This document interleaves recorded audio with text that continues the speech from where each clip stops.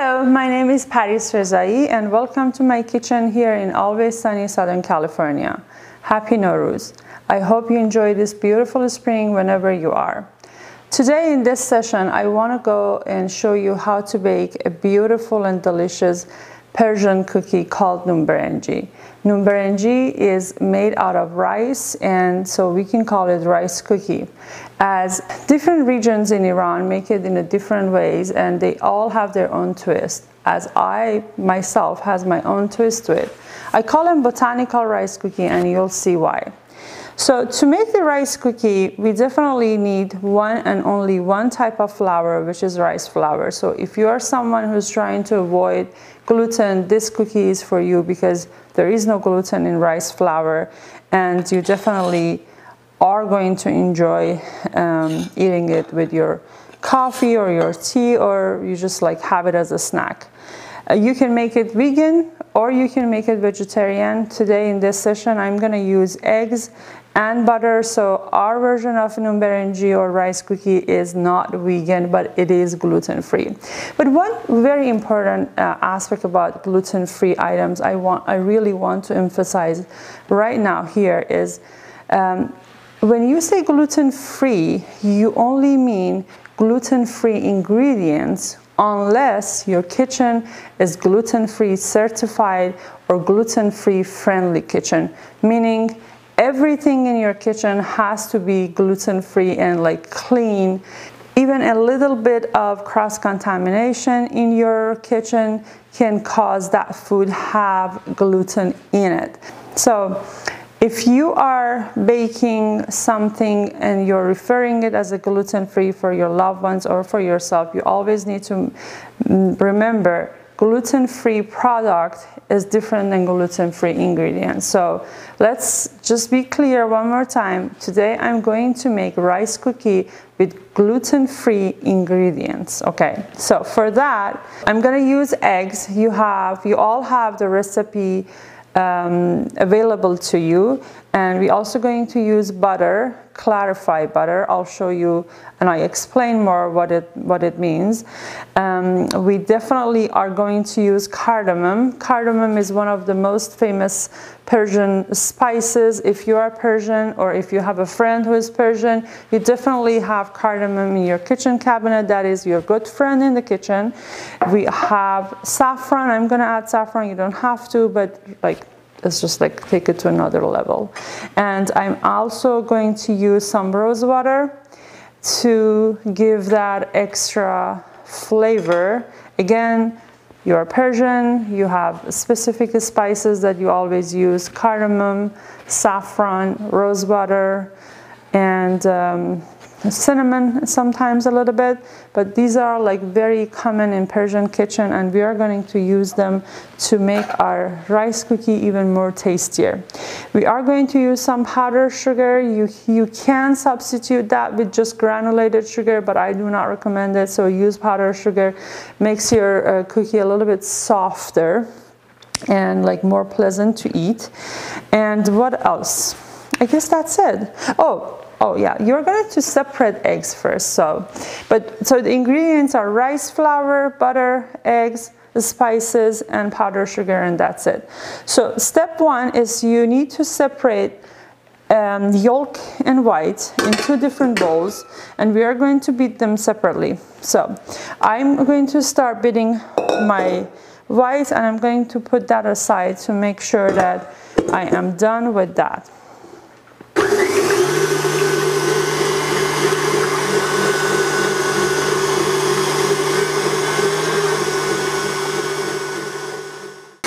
Once you're done beating your egg whites, it is going to be look like that. And this is the fun part, especially if you have kids at home. So they always love this. So if you rotate upside down, it won't fall. And this means that your egg white is done. So I'm gonna use the same whisk. And now we are going to beat our yellow part, yolk part, with powdered sugar. How much powdered sugar you're going to use? I know that sometimes you really try to avoid using lots of sugar, but this is not the point. This is not the time that you can do that. So be generous. So you don't need to just go flat. Just be a little bit generous, like, like that. And we are going to use two cups, pretty much one cup for every um, egg yolk that you have in that bowl. So I have two egg yolks. I'm going to use two cups of two good cups of powdered sugar. So we're gonna let that beat together before I start running this bowl here. So I need to explain a little bit about butter and how you are going to clarify butter. You are more than welcome to use any butter that you like, but to clarify a butter, you have to let it melt and then let it seat. And then you see that a little bit of a white foam start forming on top of the butter like very patiently, spoon by spoon, you need to remove that foam. You can save it for another for another dishes. I'll, I'll explain later, but um, you definitely want to take that out. What it does, it benefits the the cooking process. You can now bake in a higher temperature. Um, the butter doesn't burn that easily, that easily, and it, the, the texture will be better. And these are just some benefits of that. So you have that butter and then you start running your bowl. This we have powdered sugar and we have egg yolk in this bowl and our egg white is already beaten and it's sitting there. What else I need? I need rose water here, one good cup of rose water. I need some good cardamom. I like to be generous when it comes to cardamom. I like the flavor of it smells so good. You need to grind that with just like a coffee grinder. And then you definitely need to use some good saffron. So how to brew saffron? You're gonna grind your saffron with one sugar cube. Let's say one good spoon, one good teaspoon of saffron. And you're gonna put it in a grinder and then you add one a sugar cube to it and then let that grinder run for a while, like good two minutes. And then you get that powder looking um, saffron. This is saffron and also sugar cube. So once you have that, you're going to use just one little teaspoon or just a tip of a teaspoon of that saffron and you're going to add it to a to just a glass and that has one ice cube in that. As ice cubes start melting, the flavor and the color of saffron start showing up and we, we, that's how we know that this, the saffron start blooming. And once the ice cube completely melted, then you can use saffron and it will be look like that. It's very easy. You just need to just let that ice cube melt away and then you can use it. Make sure that you get your spatula and take that bottom of the this bowl out. Okay. And then let it run for another 10 seconds.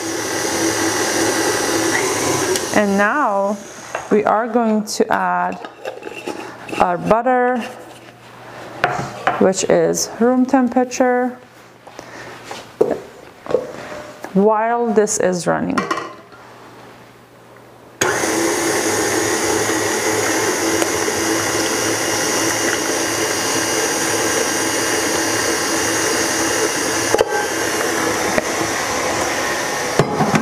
Once you add all the butter, now you're going to go ahead and you add your rose water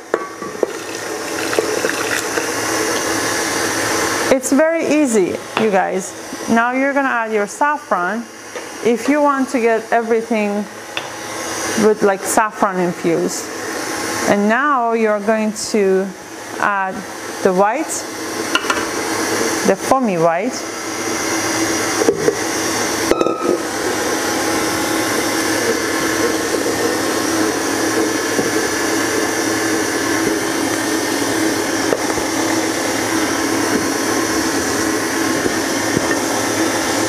right?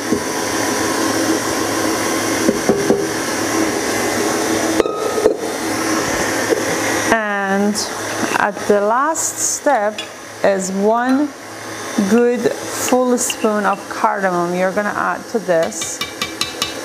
It smells fantastic already and the color yellow is very pretty. I'll show you. And I'm gonna add like a little bit more. As I said, I love the taste of cardamom. So you stop that mixer.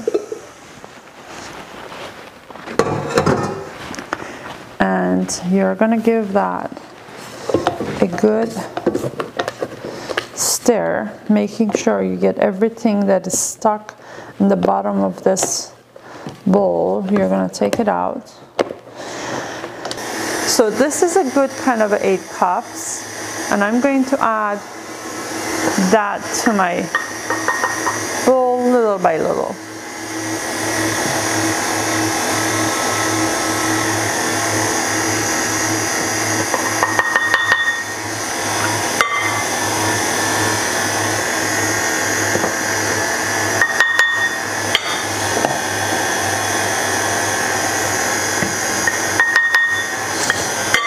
I can smell the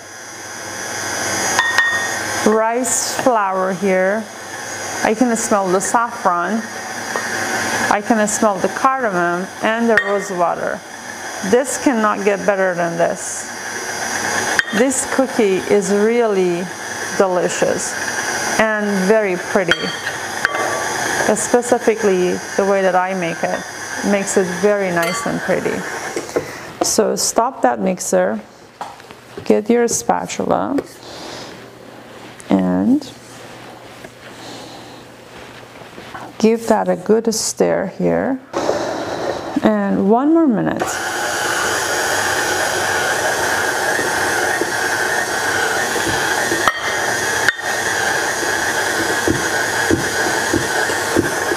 As you can see, I'm not going to use all of my eight cups as I can tell because I lost a little bit of the egg white in the process.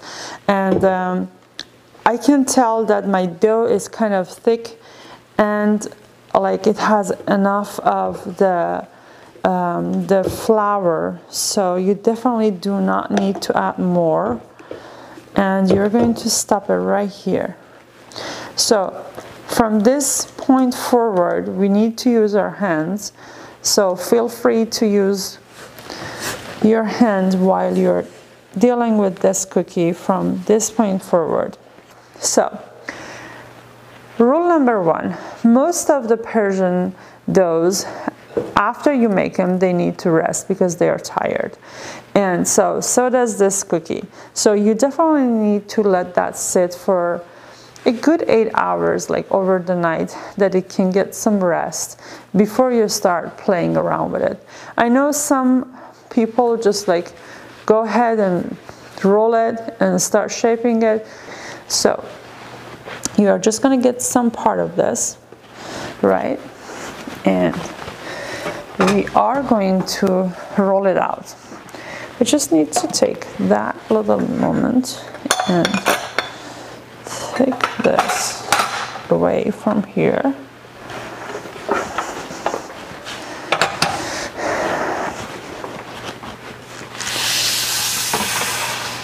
Okay. So now you're going to use your, your roller. Just if that dough is rested enough, then this is going to be a much easier process. But for now, just get a little bit of the dough and use your roller and make it flat. I would say a good one centimeter and then you can use any kind of cookie cutter that you like. I personally like that round one and just cut it. And like that you are going to use a good spatula and take it, put it on your sheet tray, which is already covered with the parchment paper, and 335 degree Fahrenheit on a middle rack for 10 minutes or 12 minutes. 10 to 12 minutes depends on your oven. So make it another your play around with it and use your roller make it flat and use the cookie cutter. Any shape I like this shape the best. And then once you do this with that rest of the dough you're to pop it in the oven. Once again 335 degree Fahrenheit for 12 minutes once that step is done and that 12 minutes you gave that 12 minutes and it's cooked and it's ready to go then we are going to move to the, to the next step which is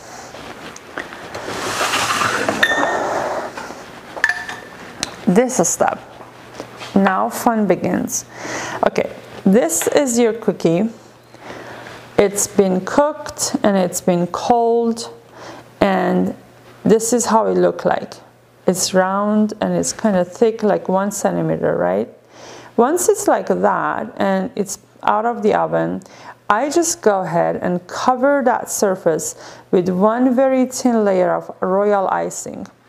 You can definitely use any type of recipe of royal icing. You can find a very good royal icing recipes all around the internet and you can use any of them. There is no tip or hint in that part really. A step except that you need to have that technique to put that icing because these cookies are small and it takes a good while for them for you to cover them.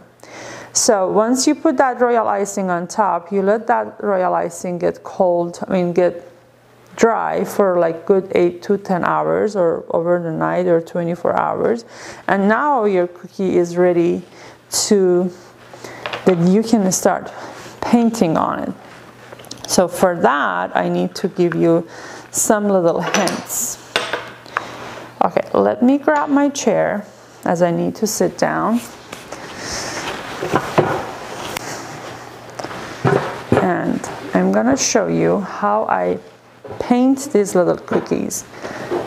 It's very fun, it's very, very smoothing and it's kind of meditation and you're gonna love that process. So in this little tray, I have a little bit of that royal icing, the white one. It's just like nice and tray. Once you cover it with plastic, it stays like that for a good year, for a good day. And then this one is the one that I already mixed with my desired color that I want to use. You're gonna use a little brushes, depends on the level of the technique of you have for painting. You can really paint anything you want on that surface. You definitely um, are going to have lots of fun. You definitely can be very creative. There are so many different pigments available, edible pigments that you can use and you can um, you can buy and you can use to create any kind of painting that you want on that surface. This is ready. This is like a white, nice paper that you can start drawing on it and just be creative. So I have but for how to use these pigments, you, you need to buy them from like any kind of a stores that they sell like baking supplies and uh, you get your favorite colors. Just a little bit goes a long way. Just take just a little, little bit of that. So this would be good for like a good 200 cookies based on the based on the type of flowers that I'm going to use. And then you are need you do need to buy a, um, what we call um, um, grain alcohol. This is an alcohol that contains 70% um, uh, alcohol and um, this is the best thing you can use to kind of start painting on any type of cookie and this is a technique that is very popular among cookier, but no one has done it on a rice cookie. and I thought why not? So this is our beloved rice cookie. Let's just make that even prettier. So I have three different type of flowers that I use that I kind of draw all the time. And one is tulip the second one is lavender and the third one I call it um, tea leaf. So this is the tulip that I'm drawing right now and I'm going to show you one lavender. Again you need you can be creative and there is no no limit to this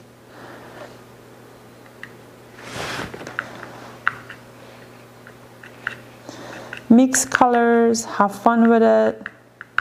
Really this is a very enjoyable process.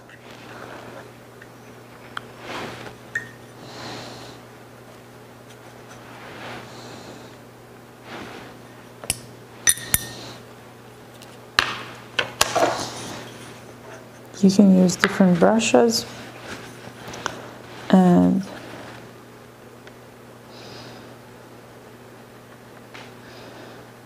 that's how I draw my little lavender and my little rice cookie which I like the most and I'll show you and then for this one I do very simple brush stroke and I create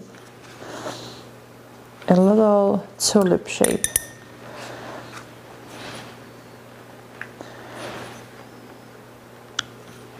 You have, if specifically if you are living in Iran and you are benefiting of having two weeks of vacation, so you definitely need to try this.